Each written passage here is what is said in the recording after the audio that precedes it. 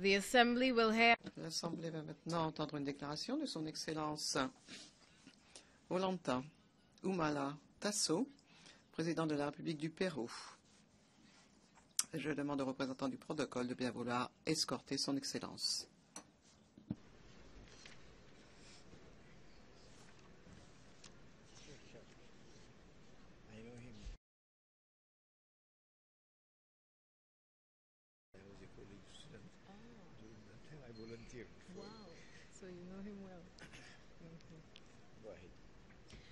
On behalf of the General Au nom de l'Assemblée générale, j'ai l'honneur de souhaiter la bienvenue aux Nations Unies à son Excellence Olanta Humala Tasso, président de la République du Pérou. je l'invite à faire sa déclaration devant l'Assemblée. Excellence.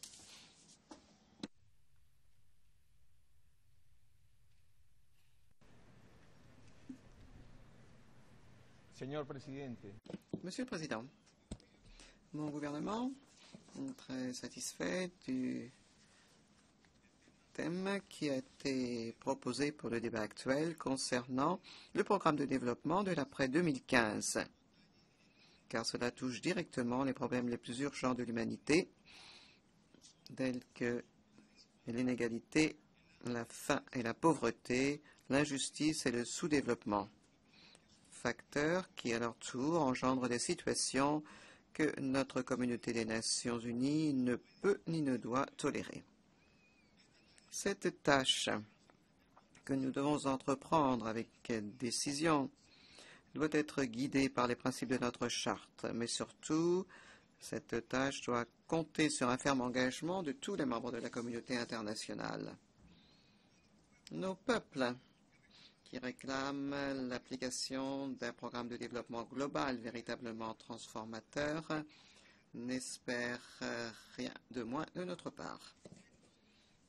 Je voudrais souligner à cet égard qu'en vertu de son universalité, de son de ses ambitions, les consensus obtenus jusqu'à présent pour définir les objectifs du développement durable dans le cadre du programme de l'après 2015 constituent un point de départ essentiel pour ces objectifs. Je pense donc que le processus en question mérite notre ferme appui et qu'il doit compter en temps voulu sur les ressources nécessaires pour le mettre en œuvre. Conformément à cette idée, le Pérou appuie très fermement ce processus et pense que l'approbation l'an prochain du programme de développement de l'après 2015 mènera à la constitution d'une véritable alliance globale pour le développement durable, disposant en outre de mécanismes de contrôle participatif et de reddition de comptes garantissant un suivi adéquat et un bon contrôle du processus. Je dois souligner qu'il existe une convergence très claire entre les directives encouragées par le Pérou par le biais de ses politiques publiques d'inclusion sociale et les objectifs consensuels au sein du groupe de travail ouvert pour les objectifs du développement durable. Dans les deux cas, on accorde une priorité aux activités destinées à réduire l'inégalité et la pauvreté sous toutes leurs formes et à éliminer la pauvreté extrême et la faim.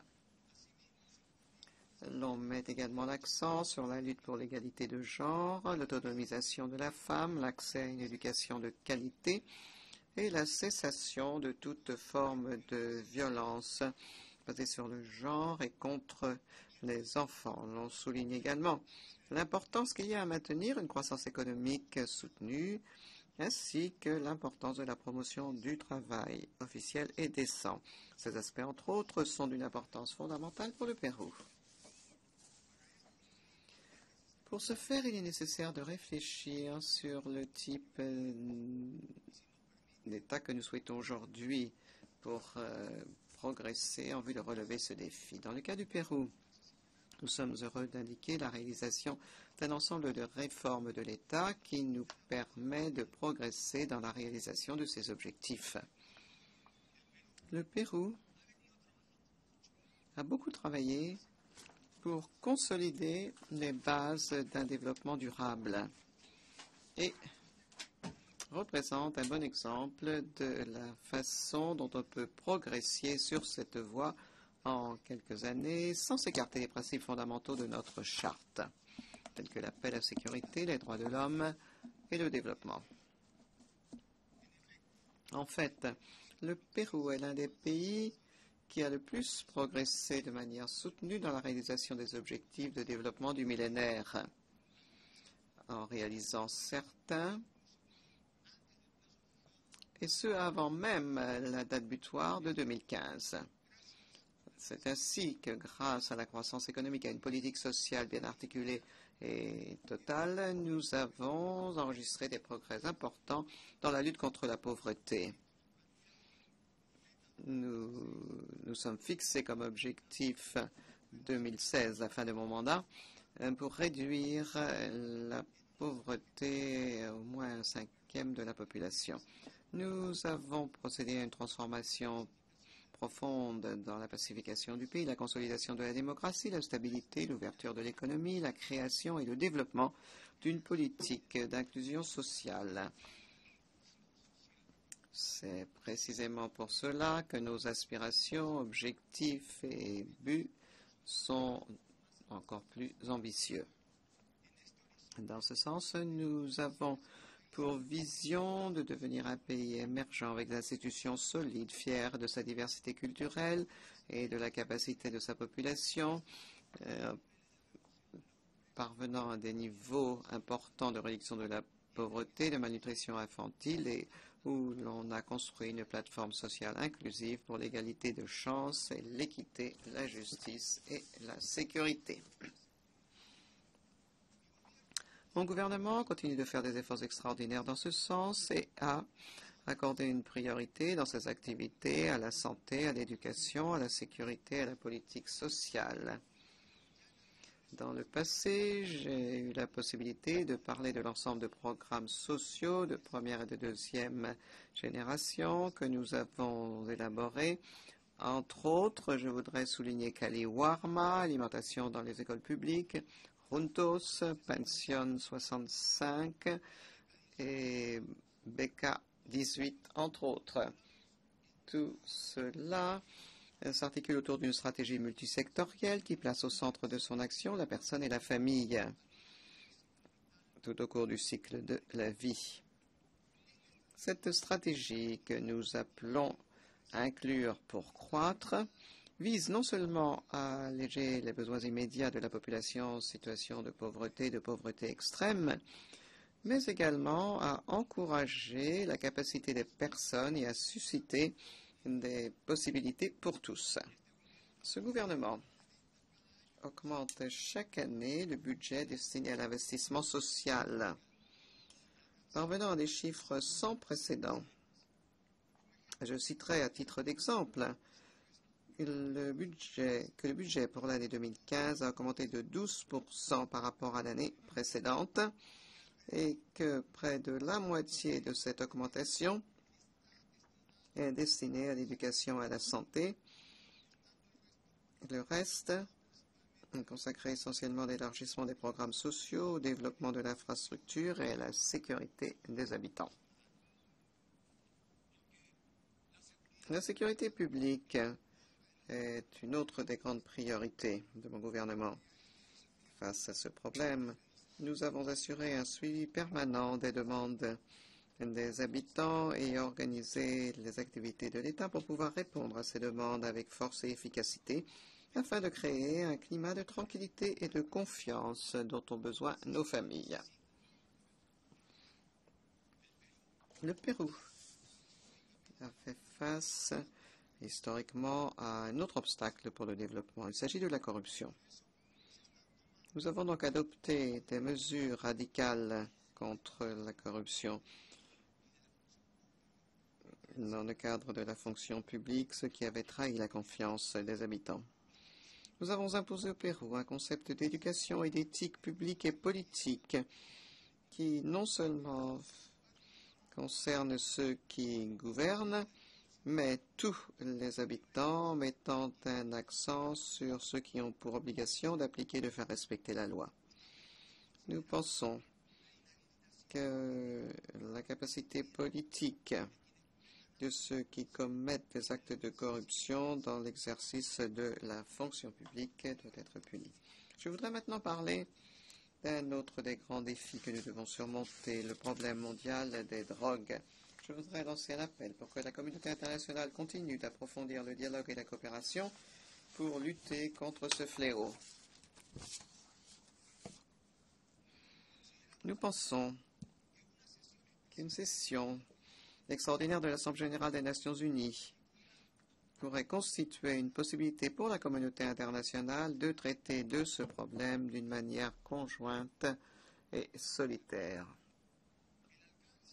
La portée de cette menace est sans aucun doute globale et les réponses de notre part doivent inclure cette dimension. Au Pérou, nous accordons une priorité à une stratégie intégrale avec l'application de programmes de développement alternatif et d'appui d'inclusion sociale. De cette manière, nous récupérons non seulement le territoire, mais la population. Toutefois, pour surmonter de manière définitive et positive ce défi, il nous faut la participation de tous les acteurs en jeu, la responsabilité commune et partagée des producteurs et des consommateurs, ainsi que des pays de transit et de financement, ce qui devrait permettre de définir une stratégie intégrale dans laquelle tous ceux qui y participent assumeraient leurs responsabilités et adopteraient des solutions.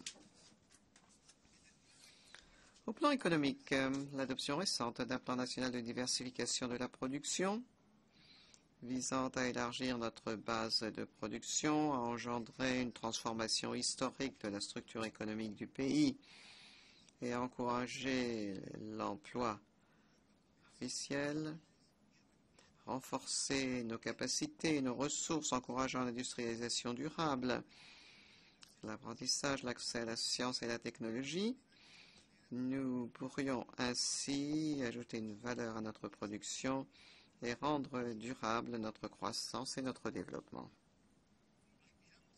Nous voudrions élargir et approfondir nos relations commerciales, renforçant les 17 accords commerciaux que le Pérou a contractés, qui couvrent quelques 95% de notre commerce extérieur, ainsi que progresser vers la table ronde, la fin de la table ronde de Doha de l'Organisation mondiale du commerce.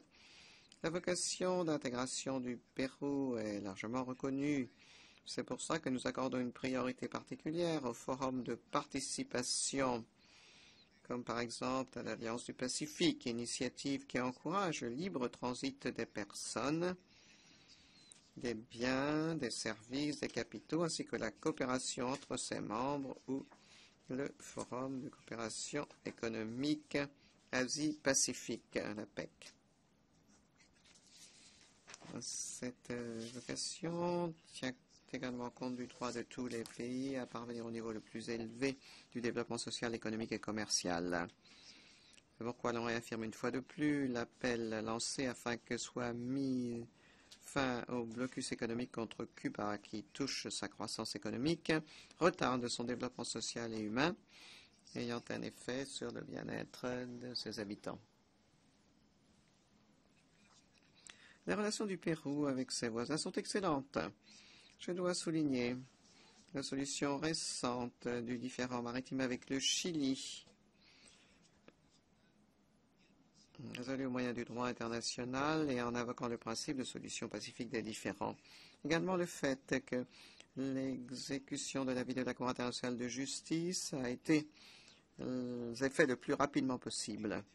En général, la forme dans laquelle ce processus a été mené constitue un exemple de ce qu'ont fait le Pérou et le Chili pour le reste du monde.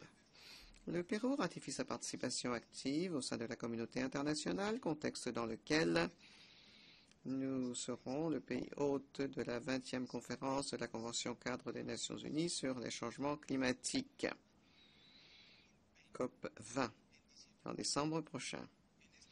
À cette occasion, il y aura des discours importants, mais ce sont les compromis, les engagements nationaux qui sont fondamentaux.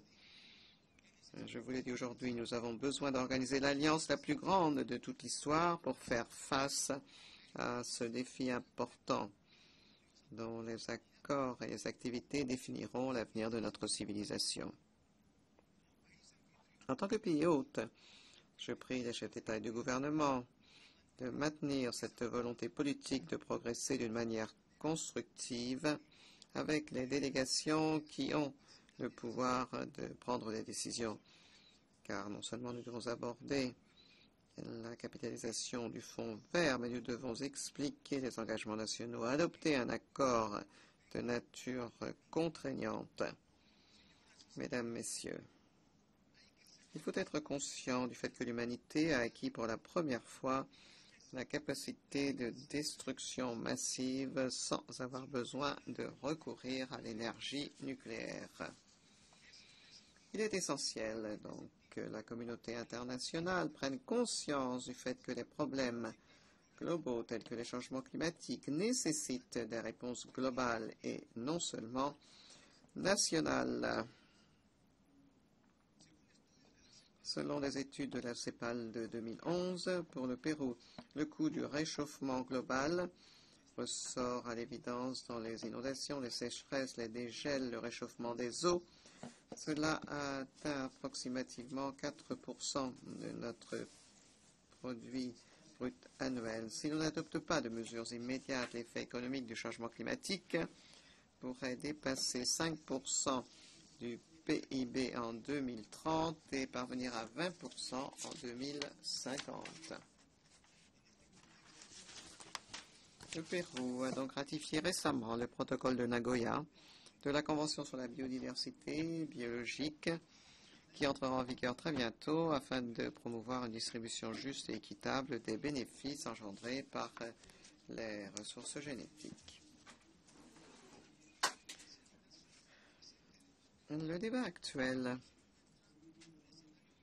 nous montre un scénario complexe avec plusieurs crises politiques, humanitaires et économiques. Nous faisons face à de grands défis de portée mondiale en ce qui concerne la sécurité internationale et la gouvernance mondiale. La capacité de réponse du Conseil de sécurité face aux crises qui se produisent dans diverses régions du monde reflète le besoin de réformer les méthodes de travail du Conseil, y compris celles liées à l'utilisation du veto. Il faut que le Conseil réponde de manière efficace à ces situations au moyen d'une réforme intégrale qui inclurait une augmentation du nombre de ses membres permanents et non permanents, le rendant ainsi plus efficace, démocratique, transparent et représentatif. Plus précisément, en ce qui concerne la question de Palestine, notre gouvernement réaffirme le besoin de faire face aux causes profondes du conflit par le biais de la négociation. Et ce, afin de trouver une solution viable et durable permettant de dépasser le statu quo, permettant aux Palestiniens et Israéliens de coexister dans la paix, de prospérer dans deux États avec des frontières sûres et reconnues. La communauté internationale se trouve euh, avec de plus en plus de fréquence face à des phénomènes qui dépassent les frontières. Je parle de phénomènes tels que le terrorisme, le crime organisé transnational, le problème mondial de la drogue, de la corruption, la traite des personnes, l'exploitation sexuelle, le trafic, la traite des enfants, des fillettes, des adolescents, ainsi que le trafic illicite des armes, entre autres. Les activités de groupes terroristes dans le monde au cours des derniers mois et dont les conséquences sont bien connues de mon pays nécessitent le rejet le plus énergique de mon gouvernement. La lutte contre le terrorisme est une responsabilité que la communauté internationale doit assumer dans le cadre de la légalité en respectant pleinement les droits fondamentaux de tous et de chacun ainsi que la souveraineté des États. Face aux événements condamnables qui viennent de se produire dans diverses régions du monde, le gouvernement du Pérou a exprimé son rejet le plus ferme de ces actes terroristes et de barbarie perpétrés par des groupes extrémistes contre la vie d'otages innocents et de minorités religieuses et ethniques, ce qui constitue un fait intolérable qui mérite la condamnation la plus ferme de la communauté internationale. Monsieur le Président, le Pérou est non seulement un pays avec une histoire, mais c'est également une civilisation. La culture péruvienne fait partie du patrimoine mondial de l'humanité. Cela a été reconnu par l'UNESCO, ce qui signifie une reconnaissance universelle face aux travaux extraordinaires de nos anciens qui ont su harmoniser le développement et l'environnement de manière simple et créative. Je vais conclure en réaffirmant une fois de plus l'engagement du Pérou à l'élaboration et la mise en œuvre du programme de l'après 2015 centré sur les objectifs du développement durable. Et je répète mon appel à donner les moyens de mettre en œuvre cet engagement pour qu'elle devienne une réalité. Dans le cadre de la prochaine célébration de la COP20 à Lima, je voudrais réaffirmer l'engagement du gouvernement du Pérou aux objectifs de cette COP 20 et lancer un appel à la communauté internationale pour qu'elle participe activement dans un esprit constructif au bénéfice du développement durable de nos peuples. Le Pérou, berceau de la civilisation Inca, capitale internationale de la bonne gastronomie, vous attend tous. Je vous remercie.